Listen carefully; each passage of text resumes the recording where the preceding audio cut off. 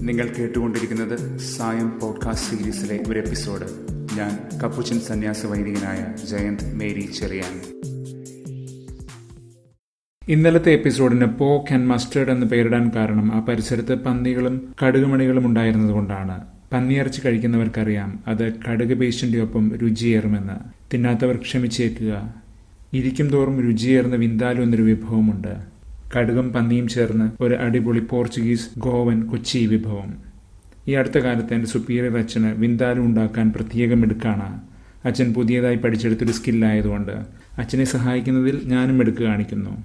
ഒരിക്കൽ ഗോവയിൽ പോയപ്പോൾ ഒരു തട്ടുകടയിൽ ഒരു ബണ്ണ് പിളർത്തി അതിന്റെ നടുവിൽ പോർക്ക് വിന്താലു നിറച്ചു തന്ന് രുചികരമായ ഒരു സാൻഡ്വിച്ച് ഓർത്തു പോവുകയാണ്.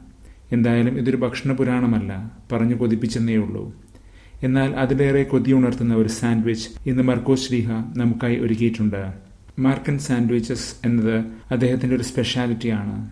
ഒരു കാര്യം വിവരിക്കുന്നതിന്റെ ഇടയ്ക്ക് അതിനെ പിളർത്തി വെച്ചുകൊണ്ട് വേറൊരു കാര്യം വിവരിച്ചുകൊണ്ട് എല്ലാം കൂടി ചേർത്ത് പൊതിഞ്ഞു കെട്ടിത്തരുന്ന ഒരു ചക്കരയട പോലെ അല്ലെങ്കിൽ സാൻഡ്വിച്ച്. അങ്ങനെയൊരു സാൻഡ്വിച്ച് ഇന്ന് അഞ്ച് ഇരുപത്തൊന്ന് മുതൽ നാൽപ്പത്തിമൂന്ന് വരെ നാം കാണും. ജൈറോസ് രക്തസ്രാവക്കാരിയായ സ്ത്രീ ജൈറോസിന്റെ പുത്രി ഇങ്ങനെയാണ് അതിന്റെ അടരുകൾ.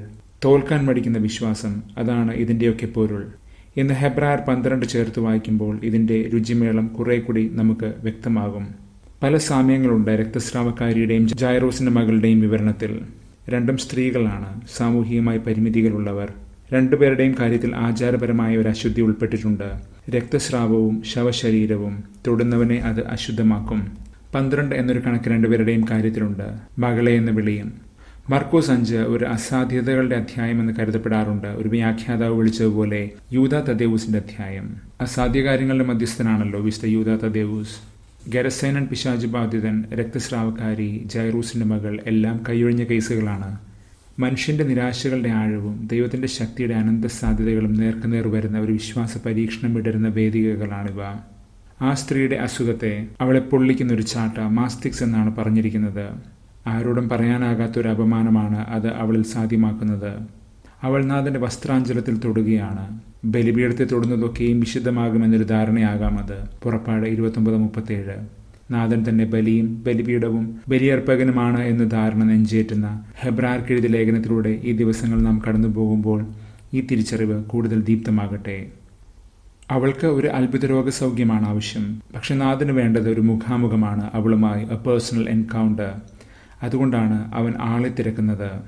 തനിക്ക് വഴക്കേൽക്കും എന്ന് പേടിച്ചു വിറച്ചുകൊണ്ട് നിൽക്കുന്ന അവളോട് നാഥൻ പറയുന്നു മകളെ നിന്റെ വിശ്വാസം നിന്നെ രക്ഷിച്ചിരിക്കുന്നു. സുസൈൻ എന്നാൽ രക്ഷിക്കുക സുഖപ്പെടുത്തുക എന്നും അർത്ഥമുണ്ട്. ഹീബ്രുവിൽ അത് പറയുമ്പോൾ യഷാവ് എന്നാണ് വരുന്നത്.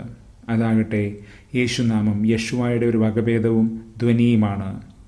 അതായത് അവൾ ആഗ്രഹിച്ചത് അവൾ നേടിയെന്നർത്ഥം യേശുവിനെ തന്നെ. അതിൽ കുറഞ്ഞ തിരിച്ചടവല്ല വിശ്വാസം നമുക്ക് തരുന്നത്. ഈ തിരിച്ചടവുകളെക്കുറിച്ച് ഇന്ന് ഹെബ്രാർക്ക് എഴുതിയ ലേഖനം നമുക്ക് പറഞ്ഞു തരും. അതേസമയം ഒരു മതപ്രമാണിയും ജനനേതാവും അധികാരിയുമൊക്കെ ആയിരുന്ന ജൈറോസിനെ വിളിച്ചുകൊണ്ട് നാഥൻ പറയുന്നത് അവന് കുറച്ചുകൂടി വിശ്വാസം ആവശ്യമുണ്ട് എന്നാണ്.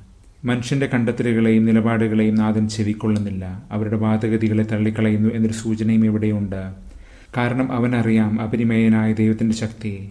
അതുകൊണ്ടാണ് അവനെ സംബന്ധിച്ചിടത്തോളം ആ കുഞ്ഞിന്റെ മരണം ഉണർത്താനാകുന്ന ഒരു ഉറക്കം മാത്രമാകുന്നത്. അവൻ അവളെ കൈപിടിച്ച് ലാളിച്ച് ഉയർപ്പിക്കുകയാണ്. ഹെബ്രായർ പത്ത് മുപ്പത്തഞ്ച് നമ്മോട് പറയുകയായിരുന്നു വിശ്വാസം എന്നത് കൃത്യമായ തിരിച്ചടവുകൾ തരുന്നുവെന്ന്. അതിനാൽ വിശ്വാസം കഠിന പരീക്ഷകൾ ഉൾക്കൊള്ളുന്നുവെങ്കിലും ഒരിക്കലും കൈവിടരുത് എന്ന്. ഫെയ്ത്ത് ഈസ് വർത്ത് ഇറ്റ് ഹെബ്രായർ പതിനൊന്ന് പതിനാല് മുതൽ പതിനാറ് വരെ വിശ്വാസത്തെ ശ്രമകരമായ ഒരു തീർത്ഥാടനമായി വിവരിച്ചു. പതിനൊന്ന് മുപ്പത്തിരണ്ട് മുതൽ അതിനെ അപകടം പിടിച്ചൊരു പോരാട്ടമായിട്ട്. ഇന്നിതാ പന്ത്രണ്ട് ഒന്ന് മുതൽ പന്ത്രണ്ട് വരെ അതിനെ ഒരു കായികാധ്വാനത്തിന്റെ തീവ്രതയിലാണ് വരച്ചിടുന്നത്. ഓട്ടമത്സരം പോലെ. നിത്യമായ പ്രത്യാഘാതങ്ങളുള്ള ഒരു ഓട്ടമത്സരമാണത്. Race with an eternal consequence ആരും തോൽക്കേണ്ട ഒരു ഓട്ടമല്ല അത്. പക്ഷെ ഓട്ടത്തെ തടസ്സപ്പെടുത്തുന്ന ഭാരങ്ങൾ നാം എറിഞ്ഞു കളയണമെന്ന് മാത്രം. നമ്മുടെ പാപഭാരങ്ങൾ തന്നെ. ദീർഘക്ഷമയോടെ നിലനിൽക്കുക. ഒപ്പം മോനെ എതിർപ്പുകളും സഹനങ്ങളും വേദനകളും നിരാസങ്ങളും ഏറ്റുവാങ്ങേണ്ടി വരുമ്പോൾ പോലും. നമ്മെ ഭ്രമിക്കുന്ന പല കാര്യങ്ങളിൽ നിന്നും കണ്ണടർത്തി മാറ്റേണ്ടതായി വരുന്നുണ്ട് ക്രിസ്തുവിനെ നോക്കി നിൽക്കാൻ. അവൻ നമുക്ക് ഒരു മകുടോദാഹരണം മാത്രമല്ല ശക്തിയുമാണ്. Perfect and source of our strength അനുകമ്പാർദ്രനായ ക്രിസ്തുവിനെയാണ് നാം ഇവിടെ കണ്ടെത്തുന്നത്. അവൻ അജയ്യനായ ഒരു മുന്നോട്ടക്കാരനുമാണ് വിക്ടോറിയസ് പൈനിയർ നാം ഇന്നലെ കാണുകയായിരുന്നല്ലോ ക്രിസ്തുസ് വിക്ടോർ അജയ്യനായ ക്രിസ്തുവിനെ. തന്റെ പിതാവിന്റെ ഹിതം കുരിശോളം പുൽകിയ ഉത്തമനായ ദാസനമാണ് ക്രിസ്തു.